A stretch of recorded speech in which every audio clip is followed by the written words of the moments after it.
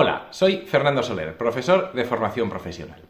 Recuerdo que Eduard Punset, en un programa sobre educación, comentaba que nuestro sistema educativo viene de cuando en la revolución industrial, a principios de la revolución industrial, los agentes económicos, las empresas, los dueños de las fábricas, necesitaban trabajadores que estuviesen entrenados eh, para, el, para la producción en cadena. En el siglo XVIII, cuando se produjo la revolución industrial, se comenzaron a regular los sistemas educativos. Trabajadores que fuesen capaces de repetir una acción, una misma acción, una y otra vez, sin plantearse mucho más. Simplemente ser capaces de obedecer, de ser disciplinados, de seguir los timbres, de seguir los horarios y de repetir una y otra vez la misma acción. El objetivo era preparar a los trabajadores que luego estarían a cargo de las cadenas de montaje en las fábricas. En base a esto, pues fueron estos agentes económicos, estos dueños de las empresas, los que definieron cómo sería el sistema educativo. Un sistema educativo que hemos conocido antiguamente, los que ya tenemos mi edad cuando éramos jóvenes, era un poco así, con sus pupitres, con sus horarios muy cerrados, con sus sirenas que marcaban cada hora, con un sistema muy, muy memorístico, muy repetitivo y donde se nos enseñaba a repetir mucho, básicamente a repetir. Es decir, se nos preparaba para la fabricación en cadena, para la producción en cadena. Sin embargo, el mundo ha cambiado y, por tanto, las maneras de enseñar también tienen que cambiar. Esto es lo que comentaba Eduard Punset. Efectivamente, en el mundo actual todo esto ha cambiado. Eh, ya no es así. Eh, la forma de educar no es esta. De hecho, para mí es bastante significativo lo de las sirenas. Ya no hay sirenas en las escuelas. Se pone música, eh, ya no se hace el sistema memorístico, sino que trabajamos, trabajamos con gamificación, trabajamos por proyectos, mm, aplicamos metodologías de aprendizaje activo, ¿vale? realmente ha cambiado todo mucho. Pero mi pregunta es la siguiente. Eh, ¿Ha cambiado verdaderamente la motivación por la que las metodologías didácticas han cambiado? ¿O el objetivo, la finalidad de estas nuevas metodologías es exactamente la misma y por los mismos agentes que eran ah, en la revolución industrial? Vamos a verlo.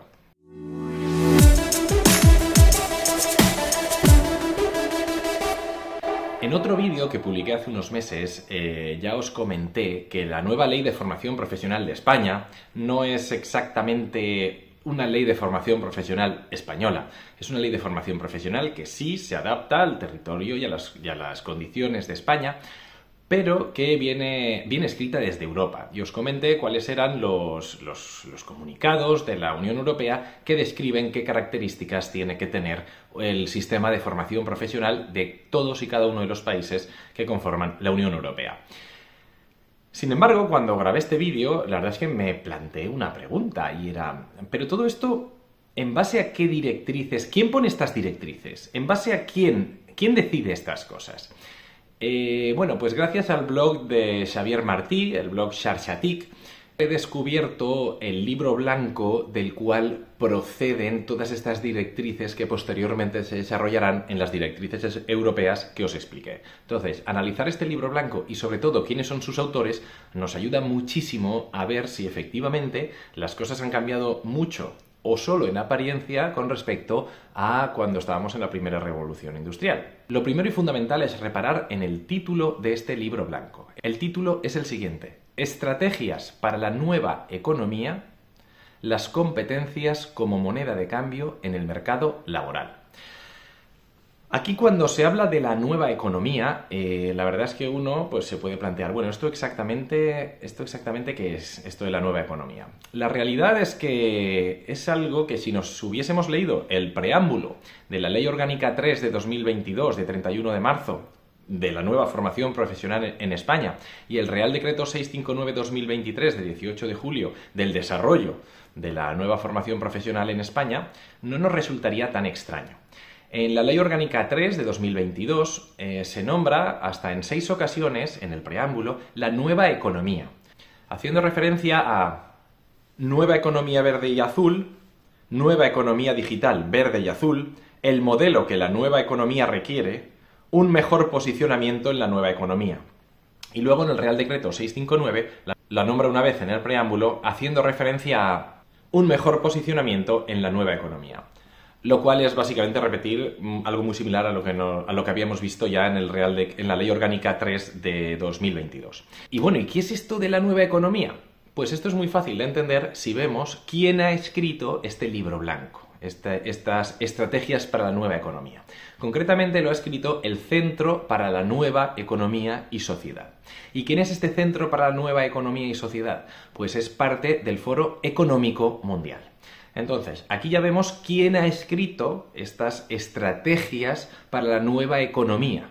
¿Vale? Esta, como dice a continuación, esas competencias como moneda de cambio para el mercado laboral. Lo ha escrito una organización que forma parte del Foro Económico Mundial, es decir, de las empresas, de las fábricas más importantes y más grandes del planeta. Evidentemente, aquí ya empezamos a ver eh, una clara relación con lo que pasaba a principios de la Revolución Industrial. Dijimos que en aquel momento eh, las, empresas, las fábricas más poderosas, determinaron cómo tenía que ser el sistema educativo para, dar lugar a trabajadores preparados para las fábricas de entonces. Bien, vemos que las nuevas directrices de, las, empresas a día de hoy son también las que están escribiendo lo que serán las directrices del nuevo sistema educativo y concretamente de la formación profesional. Así es que lo que ha cambiado, de entrada, vemos claramente que no son los agentes que deciden cómo es el sistema educativo. Siguen siendo los mismos, siguen siendo las empresas, sigue siendo el tejido productivo industrial del país, de los países, del mundo. Lo que ha cambiado es que como ha cambiado nuestro entorno, ha cambiado nuestro tejido industrial, entonces estos agentes económicos han cambiado las estrategias con las que educar a las personas para, hacer frente a, la nueva economía, ¿de acuerdo? Pero, pero, pero en realidad el objetivo es el mismo y es preparar personas para las industrias del presente. A mí esto personalmente no me parece mal, sobre todo en la formación profesional me parece súper normal que si nuestros trabajadores son profesionales de trabajos específicos, pues sean esas empresas que les van a contratar las que, las que digan cómo se les tiene que formar. A mí me parece genial todo esto. Ahora bien, eh, lo que luego me resulta paradójico es cuando muchas personas dicen, no, gamificamos y hacemos metodologías activas y trabajo por proyectos porque, porque somos más, más, más progresistas, somos más libres en nombre de la libertad. No, no, perdona. En nombre del mercado. Lo hacemos en nombre del mercado, exclusivamente. Y además tú estás defendiendo todas esas cosas porque es lo que te están diciendo los mismos que a principios de la revolución industrial te decían que tenías que hacer producción en cadena y repetición, repetición, repetición.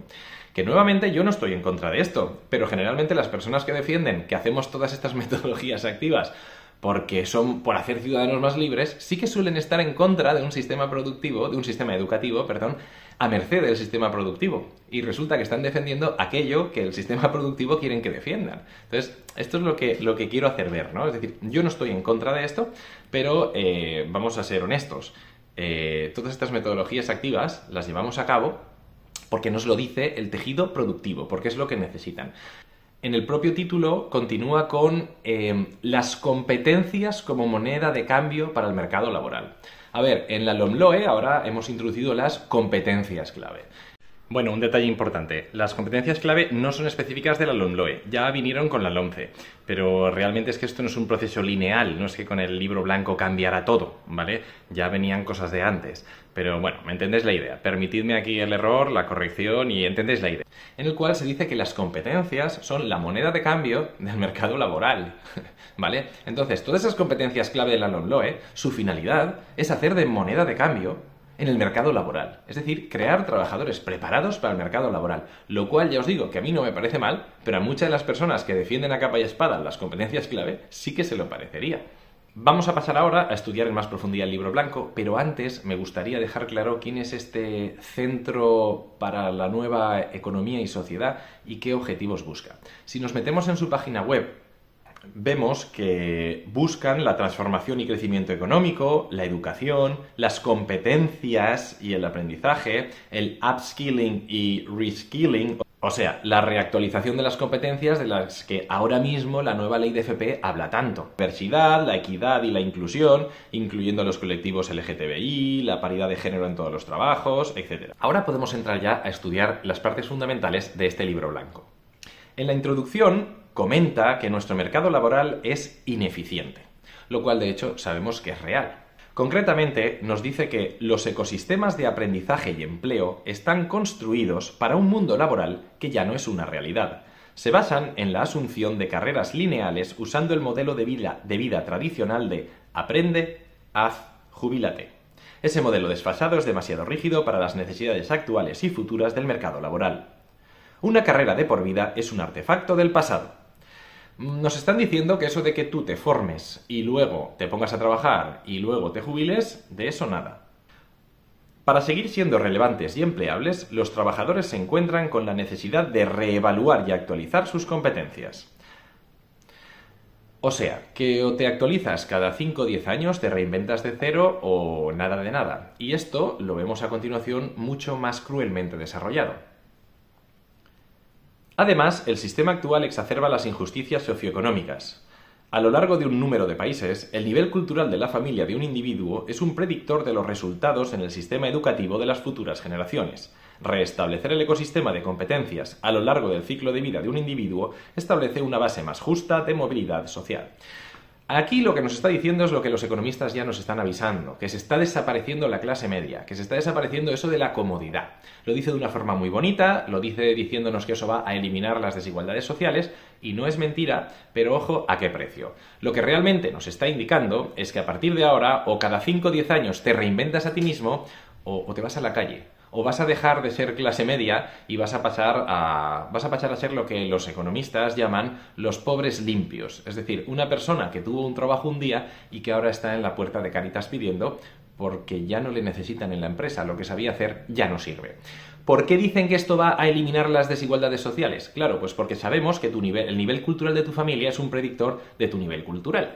Entonces, hasta ahora, si tu familia pues tenían estudios, era muy fácil que tú acabases siendo clase media. Y si no, no. Bueno, pues ahora ya va a dar igual tu familia si tiene o no tiene estudios, porque a los 10 años mmm, ya tu carrera no va a servir para nada y vas a tener que volver a reinventarte.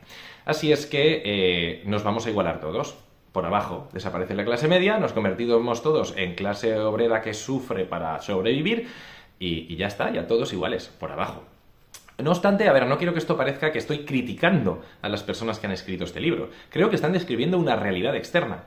Y lo que nos están diciendo es lo que nos dice la nueva ley de FP, que tenemos que estar continuamente readaptándonos, reaprendiendo y reactualizando nuestras competencias. Lo que quieren decir es que, o una de dos, o cada década como mucho te reactualizas en tu profesión o aprendes una nueva profesión, o simplemente, como ha pasado una década tu profesión ya no servirá, te quedarás en la calle.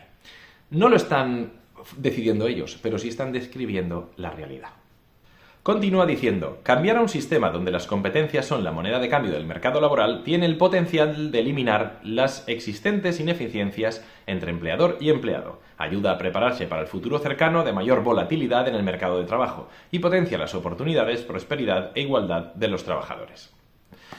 Sí, bueno, de los trabajadores que se reciclen, los otros pues se quedarán pidiendo ayudas o en la calle o pidiendo ayuda, pidiendo ayudas o pidiendo ayuda vemos como efectivamente eh, dejan claro que el mercado futuro va a ser altamente volátil y por tanto vamos a necesitar ser altamente adaptativos. Por eso se deja de fomentar una escuela repetitiva y se intenta fomentar una escuela con metodologías activas, una escuela donde el alumnado sea capaz de aprender por sí mismo. ¿Puede ser que esto fomente su libertad? Sí. ¿Puede ser que esto fomente su pensamiento crítico? También. ¿Se hace por eso? No. Se hace porque es la única manera de preparar a los trabajadores del futuro. De lo contrario, seguirá pasando cada vez más lo que ya está pasando, que tenemos la paradoja de alto paro a la vez que tenemos un montón de empresas con puestos vacantes que no pueden cubrir cambian tan rápido las necesidades de, las empresas que no hay personas que sean capaces de realizar ese trabajo. Las vacantes están en las empresas y sin embargo cada vez hay más gente en el paro porque lo que sabían hacer ya no sirve. Pero Blanco continúa con el capítulo cambiando un sistema basado en competencias, que es exactamente lo que hace la LOMLOE. Concretamente habla de competencias digitales y humanas. Las competencias humanas son las soft skills, que ahora en la FP también se están fomentando muchísimo. Hemos de cambiar a un modelo de aprender, hacer, aprender, hacer, descansar, aprender, repetir. Vamos, estar constantemente con los grados A, B, C, D de la FP, donde pues ahora aprendo esto que tengo que aprender, hago un nuevo trabajo, ahora hago un grado B, luego lo amplío un grado C, aprendo un nuevo trabajo y todo eso a lo largo de mi vida. Vamos, que nuestro nuevo mercado volátil, mm, esa nueva economía de la que hablan, eh, no nos va a permitir volver a vivir tranquilamente. Vamos a estar siempre luchando. A continuación, este libro blanco nos ofrece 10 estrategias para conseguir esta potenciación de las competencias para el mercado laboral. Primera, construir, adaptar y certificar las competencias clave. Pues eso, las competencias clave. 2. Construir, adaptar y certificar las competencias avanzadas. Y esto se traduce en los grados A, B, C, D y E de la formación profesional. 3. Construir, adaptar y certificar competencias entre la población trabajadora adulta. Y ahora ya sabes de dónde provienen las acreditaciones por experiencia profesional. 4. Asumir el potencial de las tecnologías educativas y el aprendizaje personalizado que esto básicamente es aprender TIC, hacerse más digital y aprender a trabajar por uno mismo, para lo cual se fomentan las metodologías activas de aprendizaje. 5. Analizar los contenidos competenciales de los trabajos. Vamos, lo que es el Catálogo Nacional de Estándares de Competencia de la Formación Profesional. 6. Diseñar certificaciones coherentes y con movilidad, ¿Entiendes por qué se ha cambiado el nombre de unidades de competencia a estándares de competencia? Pues para que haya movilidad europea. Ya no son unidades de competencia, son estándares en toda Europa. De aquí vamos a saltar ya al 10 porque los siguientes no, no son demasiado interesantes. 10. Modelar la cultura, la mentalidad y los mecanismos hacia el aprendizaje permanente. Pues eso, eh, metodologías activas, aprendizaje permanente, aprende por ti mismo, utiliza las TIC, etc. Para terminar, en este libro blanco se ponen algunos ejemplos de buenas prácticas educativas, como por ejemplo la gamificación, el aprendizaje dual centro formativo empresa.